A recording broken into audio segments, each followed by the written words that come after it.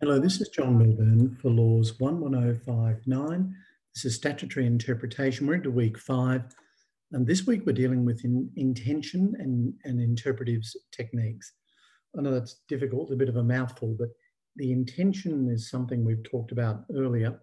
But now we get into some of the techniques that you need to use to properly interpret legislation. And um, the reading material is chapter five of your text in, in Sanson. I'm just going to digress. I've mentioned a couple of times the issue of um, legal research and the importance of considering uh, legal research more broadly. I'm going to share the video with you um, to a screen and hopefully this will succeed. So with luck, you're now viewing some extracts from AustLII. This is the Australian Legal Information Institute, AustLII, very popular service for considering legislation generally and um, related materials. But whilst most people use AustLII for access to legislation, there is a lot more to it. So please go to the index, have a look at the uh, user guide, which uh, I've got here in part. You'll see that there's a great deal of information relevant to you. And um, please consider the contents of the user guide. It provides valuable information about browsing the databases. Legislative databases provide you with uh, ability to search a whole range of issues. Note up, um, which is third down on the, the list, list there on the left is particularly useful section. Case law databases are particularly useful as well and it provides you with information about how to search the database the connectors that are used um, to assist you in searching, in search, sorry, searches, and provide you with um, inform, information about frequency. LawCite, you'll see um, in the middle of the page there, is a very valuable legal citation service, and I commend it to you. There are a number of citation services available in different platforms. This is just the one used at AustLII. And um, I do urge you to consider to improve your skills by considering the advanced search technique using search options and um, searching databases. So LawCite through AustLII has a great deal to offer and uh, I urge you to consider that and also other legal citators that are available to you. So when it comes to interpreting legislation, we've already raised a number of issues and the importance of identifying relevant statute and case law for um, those purposes. There are a number of general principles that apply for the interpretation of legislation, and the meaning of the text may require you to consider the context, which means considering that which is around the legislation. You'll need to consider the general purpose, you'll need to consider issues around policy, and ultimately, if you're looking at the intention of Parliament, I guess you could consider the mischief that Parliament is trying to remedy. Now, that may be trying to implement some policy as promised at an election, maybe seeking to overturn a decision of a court that was um, unfavourable as far as Parliament is concerned. There might be a range of things, but when we talk about the mischief that legislation is designed to overcome, we're really talking about well, why is this legislation being introduced? And what's wrong that requires something to be put right? What's the mischief that we're trying to fix here? Project Blue Sky is always a go to case in this area of practice. So have a look at paragraph 69, where in that case, the court said ordinarily the meaning, the legal meaning, will correspond with the grammatical meaning, but that's not always true. And I referred you to that passage last week. And context and purpose, as we discussed last week, is important because it means that we have an opportunity to determine the legal meaning. And that sometimes is different to the ordinary or grammatical meaning. And to determine the legal meaning, we need to consider the context, but we need to do so within the general purpose and the policy provisions, and it needs to be undertaken in a way that's fair and consistent with the way in which legal drafters, courts deal with these issues. We talked about that last week as well. So you need to consider the legal meaning of a, of a section or a word or a phrase or even a, a part of a section um, by reference to the language of the section or of the act as a whole. And we, hear that term a lot in statutory interpretation. You need to consider something viewed as a whole is uh, a handy thing to, to remember and use. So in Project Blue Sky, the court went on to say at 70 and 71 that a legislative instrument must be construed on the prima facie basis that its provisions are intended to give effect to harmonious goals. And that's a key issue because what we're really trying to do in determining the intention in using these interpretive techniques, we're looking to come up with an answer that gives effects, effect to the harmonious goals of the legislation. Now, where there's a conflict that appears to arise from the language of the particular provisions, of course, we need to alleviate the conflict by adjusting the meaning of the competing provisions to achieve a result that best gives effect to the purpose and language of those provisions. And this is all part of paragraph 70 and 71 of Project Blue Sky, while maintaining the unity of all of those statutory provisions.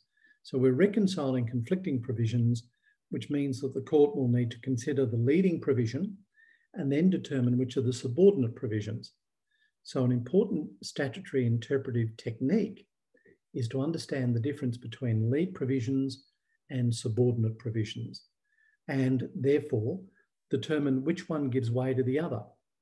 And uh, therefore, we need to understand that interpreting legislation, there is a hierarchy.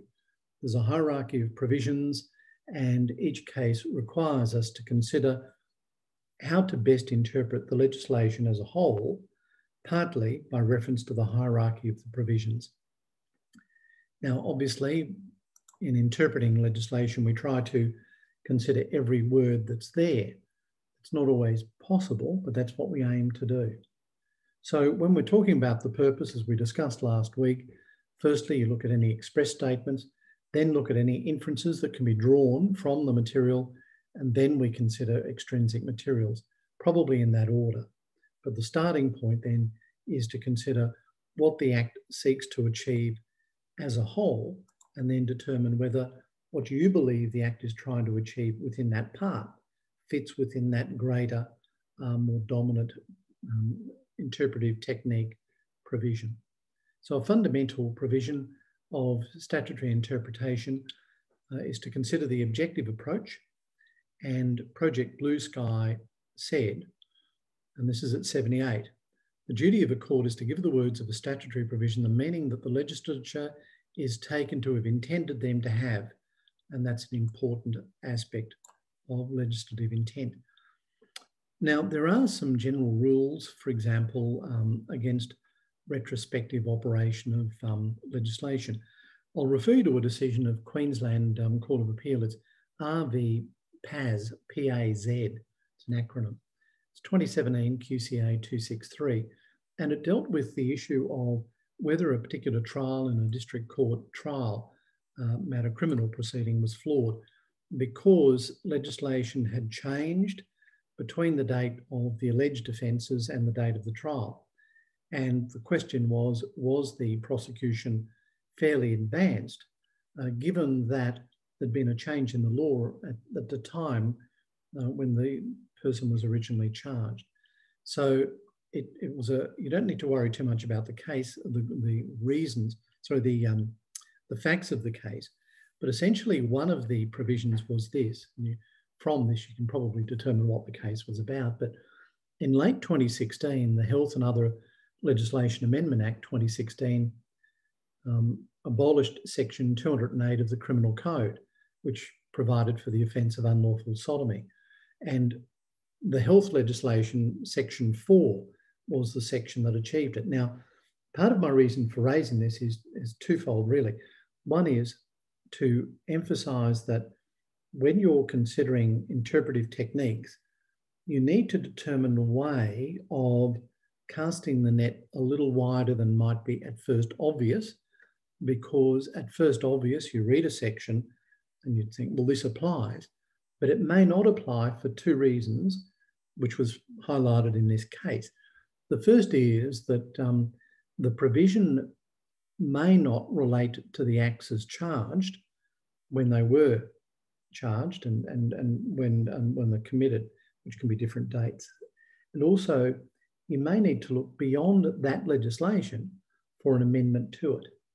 So when you're determining your flowchart of how to interpret legislation, you need to consider that other acts of Parliament can sometimes change the act that you're looking at.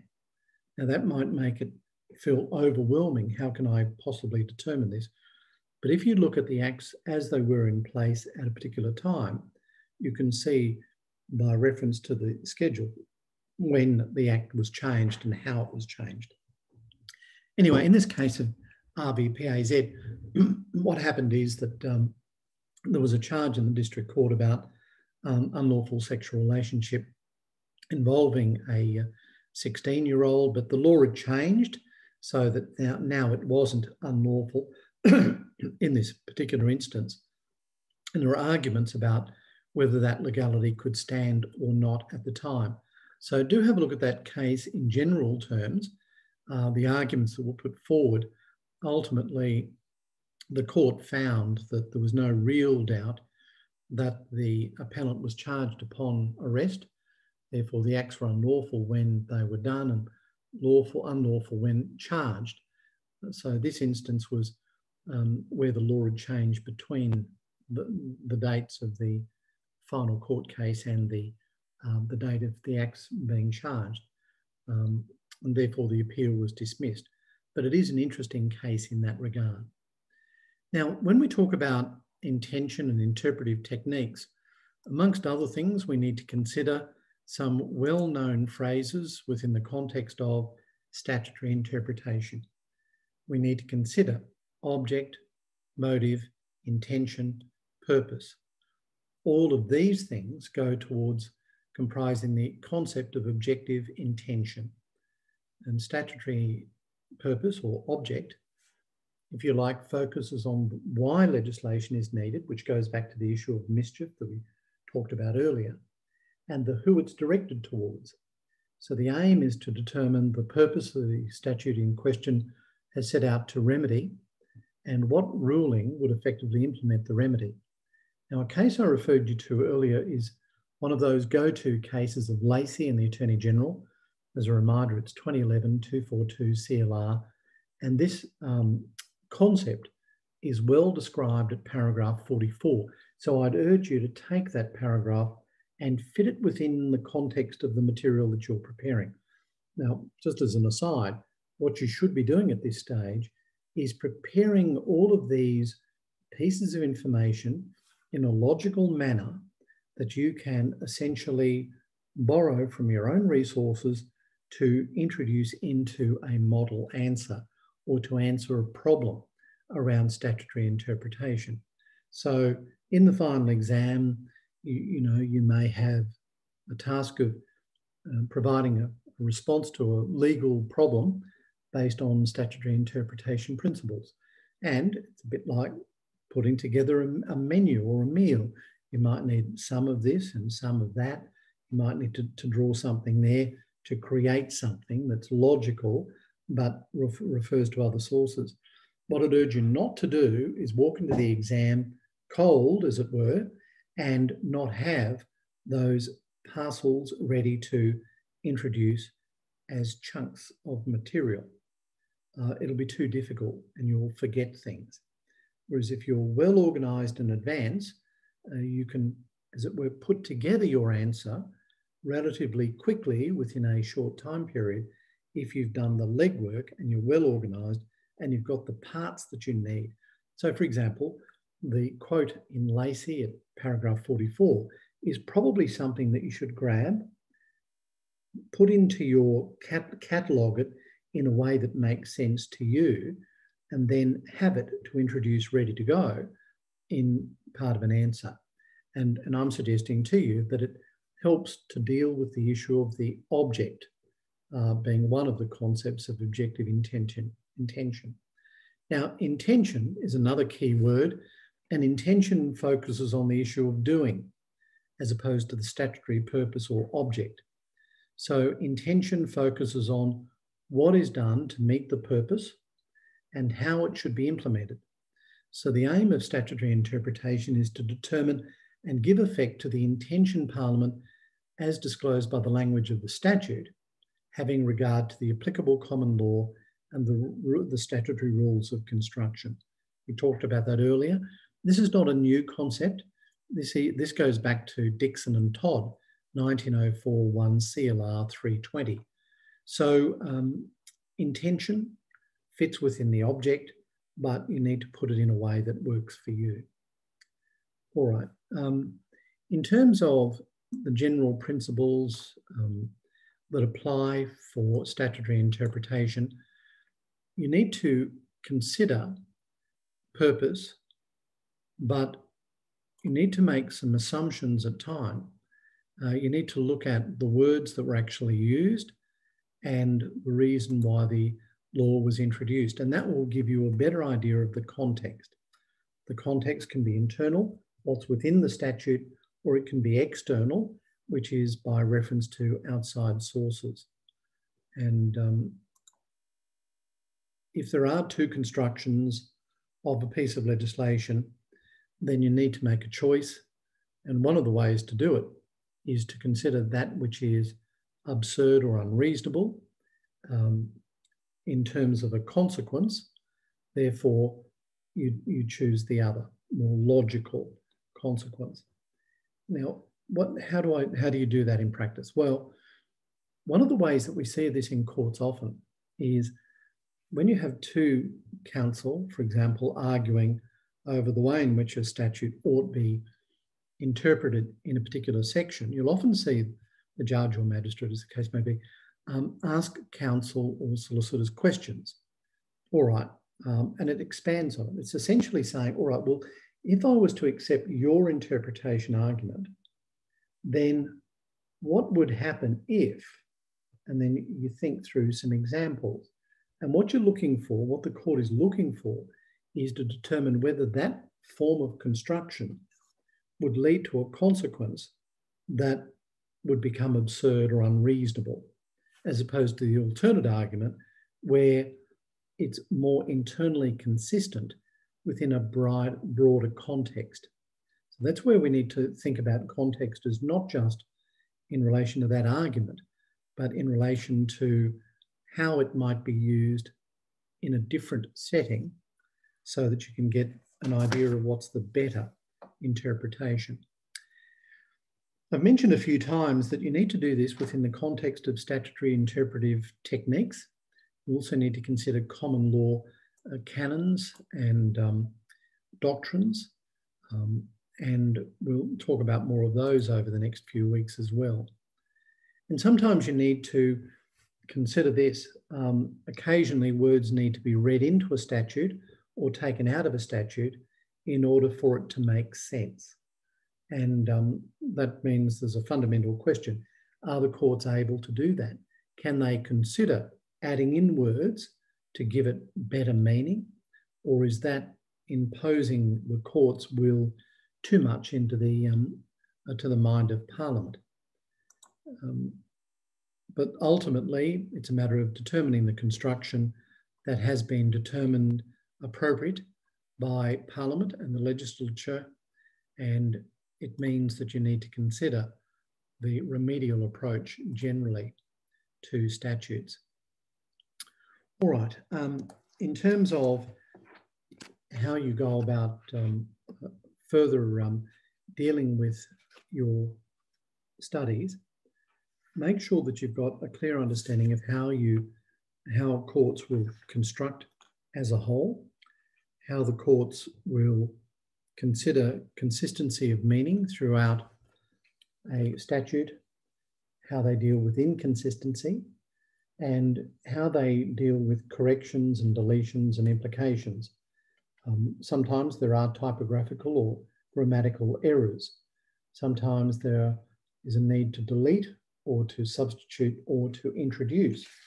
And when do courts do that? and to what extent should they do it. But ultimately, you need to go back always to general principles, and a statutory provision should be construed so it is consistent with the language and purpose of all the provisions of the statute. Its meaning must be determined by reference to the language of the statute considered as a whole. That means you need to consider the parts of the Act, do consider the headings, the marginal notes, the schedules, the dictionary sections that are um, often there as well, and um, also consider the ejusdem generis rule, which basically says that um, words um, that are can be interpreted in different ways should be considered within the context of a list of things uh, within that particular class of things. So, um, you know, if we were talking about um, you know, glasses within the context of optical aids, then we shouldn't interpret the word glasses as meaning a receptacle from which you um, drink. Uh, so that would be a totally different meaning. So we do look, we use the ejusdem generis rule to think about the list, the type of list, uh, sort of like that birds of a feather flock together type concept. And that's one of the common law principles. Now, when it comes to determining the purpose, you need to identify the purpose. You should be on top of this by now as to where it is that you look. Um, and we've mentioned common law materials. That's relevant, particularly in terms of extrinsic materials, in that in order to get a better idea of the legislative history, you need to consider some of the common law approaches. We'll talk about more about this later. But one of the important cases on that regard, in that regard is um, CIC Insurance Limited against Bankstown Football Club. Um, that's an important case. Keep it in your well catalogued. It's 1997 187 CLR 384.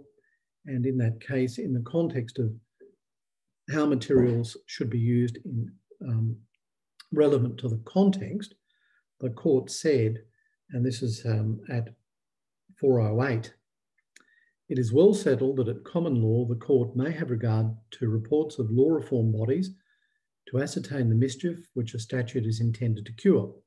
Moreover, the modern approach to statutory interpretation insists that the context be considered in the first instance, not merely at some later stage when ambiguity might thought to arise, and uses context in its widest sense to include such things as existing state of law and the mischief which by legislative means, such as those just mentioned, one may, uh, may, one may discern the statute was intended to remedy.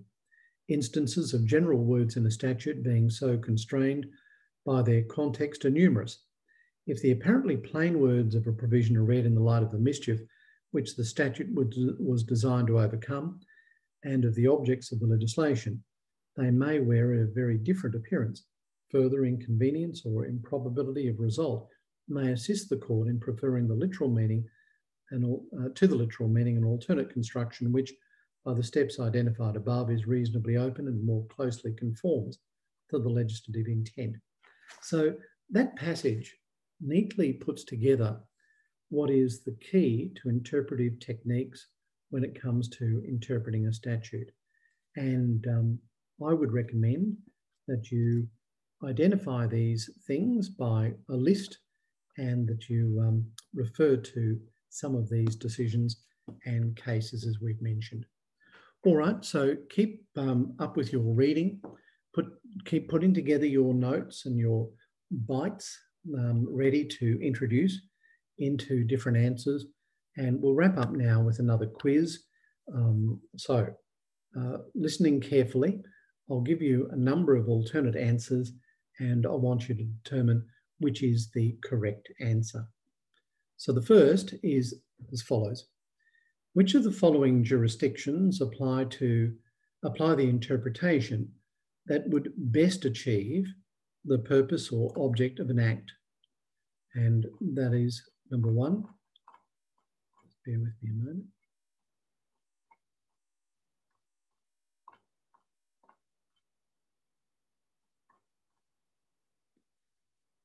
A, Commonwealth, Queensland and the ACT.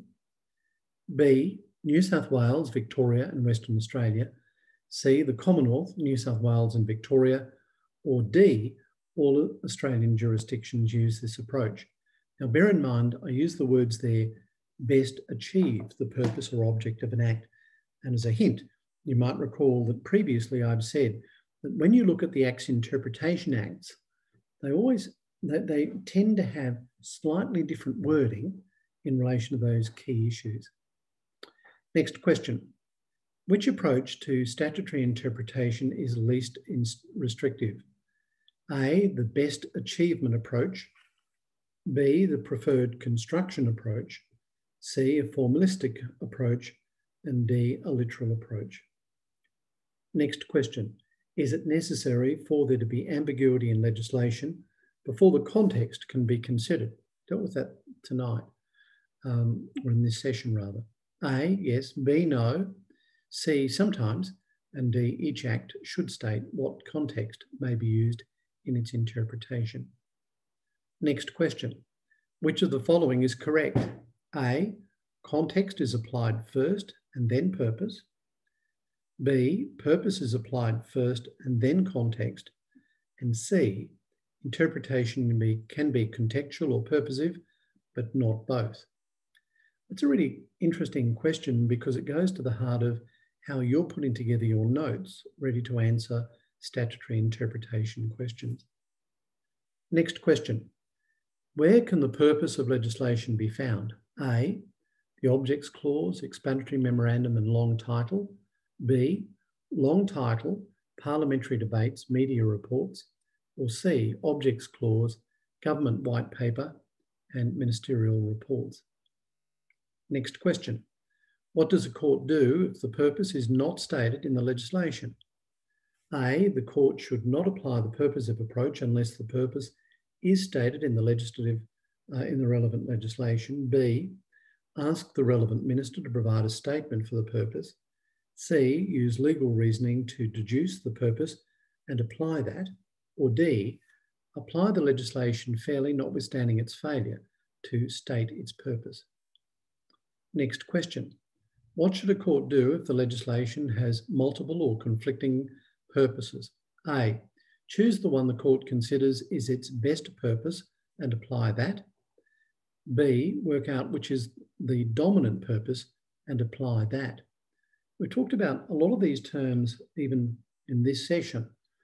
The purpose of that question is for you to determine some clarity of thought so that we're not just using words, we're actually doing so in a logical manner. So that's a pretty important question. See if you can work through that. We've talked about it tonight. Um, you may have to, well, in this session, you may have to, to rewind. Next, is if there is only one ordinary meaning and one purpose, the court should A, check that ordinary meaning promotes the purpose. B, look again, it's never that simple. C, consider what parliamentary compromise took place to agree upon a single purpose. And D, choose an interpretation that achieves the purpose. The actual words used are not really important so long as the purpose is served. And the final question in this session if someone says there's been a reservation to literalism, what do they mean? A, the courts are abandoning the mischief rule and applying the literal rule. B, there's an increased focus on the text of a provision as compared to the context or purpose. And C, there's an increased focus on context in interpreting the words that are used. All right, thank you very much. Keep up the good work, keep at it, and by now you should be getting together a really good workbook that assists you uh, logically in answering interpretation questions. We'll see you next time.